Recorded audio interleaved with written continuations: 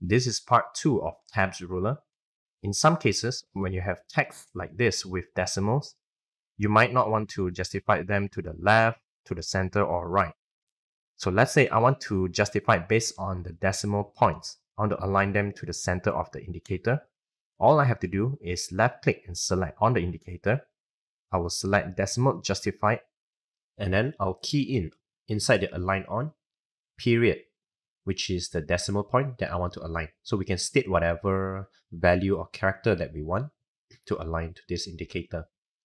And instantly, the moment you key in, and you can see that the decimal point is now aligned nicely vertically to the indicator.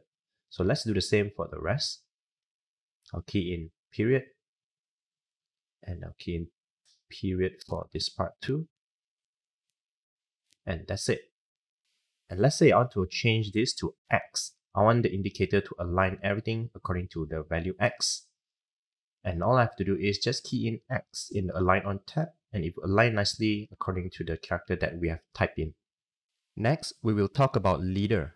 So leader is a function that is very useful for us to create a list of contents. For example, over here we have the text, the content, followed by a big space here full with dots, and then the page number.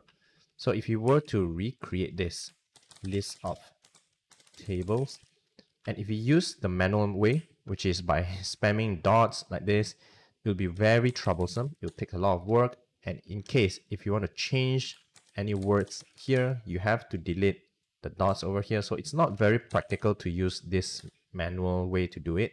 And at the end, numbers will not align very nicely. So let's use the proper way, which is to use the function leader. So over here, I have the text.